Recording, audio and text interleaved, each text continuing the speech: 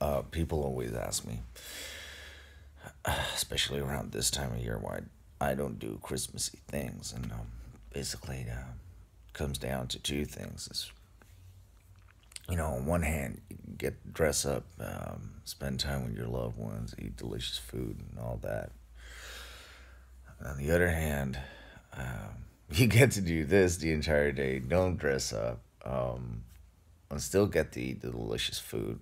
You just have to clean it up yourself. um, yeah, but just to all the people I know, um, my loved ones, and uh, all the people I don't know, like uh, whether you celebrate Christmas or not, or you know you celebrate a different festivity or for a different reason. Um, I'm wishing you lots of love, um, and uh, good health and everything, and I.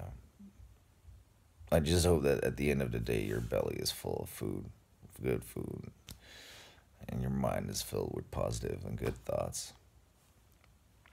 Um, enjoy, man. Go Jesus and stuff. I think, I guess. Whatever.